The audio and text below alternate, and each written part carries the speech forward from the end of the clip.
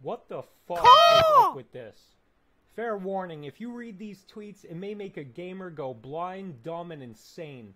Luckily, I'm already there, so I'll do it for you. Any developer that is pissing and moaning about BG3 is crazy. It feels like it's been forever since gamers finally had a untainted, soulless cash grab game with so much love and effort put into it, and developers are losing their minds over this concept, Whatever happened to making a great game and letting the money and praise from fans come in? You're telling me this is an RPG anomaly? A once in a lifetime achievement? Get the fuck out of here with that. I know not every game can become a Baldur's Gate 3, but that really doesn't mean a multi million dollar company cannot set aside their greed and actually make a passionate video game, especially when Larian Sturi. fuck. Especially when. L- Larian, Larian, Larian, fuck. Especially when Larian Studios never had the insane resources and brand name. Oh my god, this this fucking script, man. Holy shit.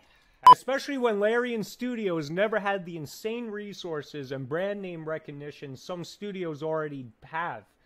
I'm sure we know what companies I'm talking about. It doesn't need to be said.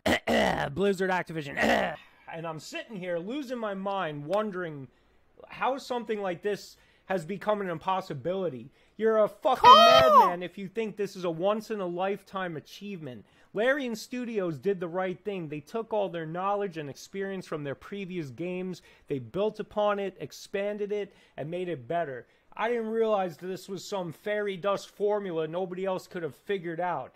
Their game Divinity Original Sin needed crowdfunding back in the day just to make it possible. And look where the company is at now.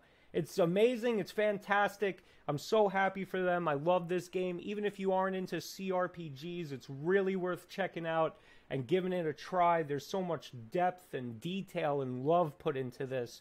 It's worth the price of admission. And that, that's all I have to say about this. Thanks for watching. I'm going to go fuck off.